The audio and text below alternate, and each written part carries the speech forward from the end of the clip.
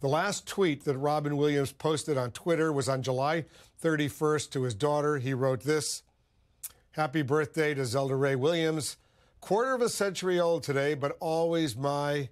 And then he linked his message to this Instagram photo uh, of the two of them when both were a whole lot younger.